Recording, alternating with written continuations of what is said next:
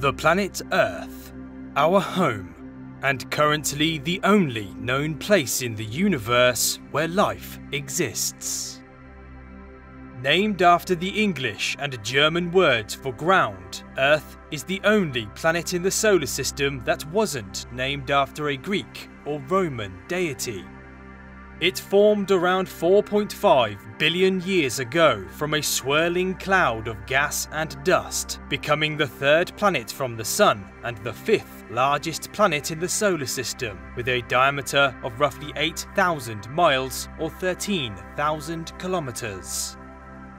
Because of ancient Greek philosophers, astronomers, and mathematicians such as Pythagoras, Aristotle, and Eratosthenes, we have known that the Earth is round for more than 2,000 years. But not perfectly round, as it is really an oblate spheroid, which is a result of the Earth's rotation causing it to slightly bulge at the equator. Similar to the other terrestrial planets, Earth is composed of four distinct layers a solid inner core, a hot, liquid outer core, a thick, flowing silicate rock mantle, and a thin, rocky crust. Around the time of Earth's formation, our planet also received a companion that we call the Moon. The Moon likely formed after a Mars sized object collided with the young Earth blasting debris out into space and forming a smaller world that would eventually become the brightest object in our night sky.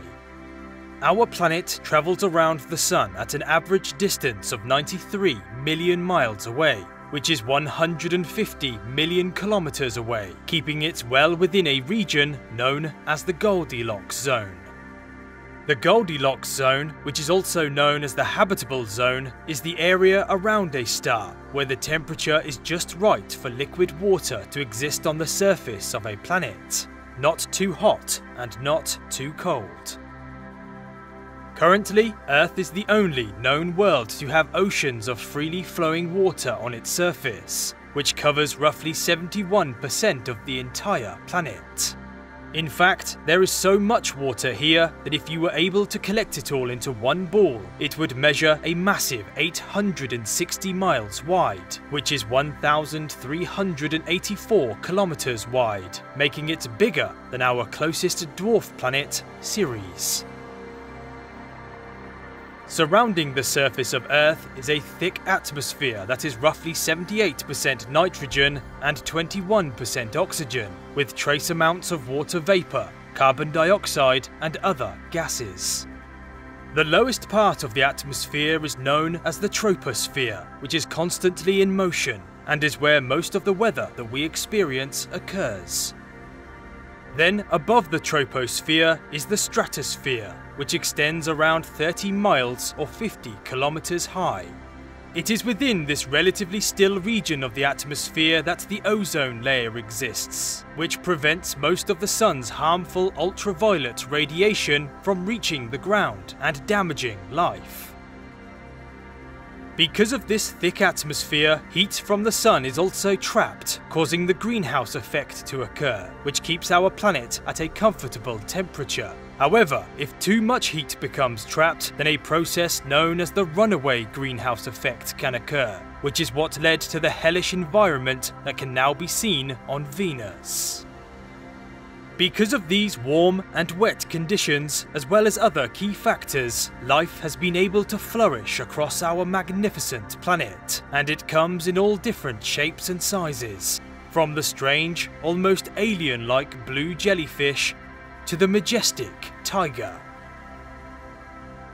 As it stands, Earth is the only planet out of thousands that have already been discovered known to host life and it boasts several millions of species, many of which are believed to remain undiscovered.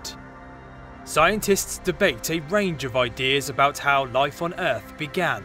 However, determining the actual origin of our existence is extremely difficult because it began such a long time ago. The oldest discovered fossils of ancient microbes seem to date back to around 3.5 billion years ago, meaning that if we assume that life began on Earth, then it must have started within a billion years of our planet's formation.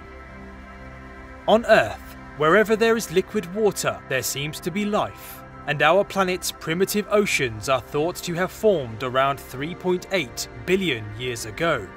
So within these giant pools, the first ancient microbes may have taken shape, and over billions of years their emergence may have given rise to the millions of life forms that have thrived in Earth's seas, lands and skies.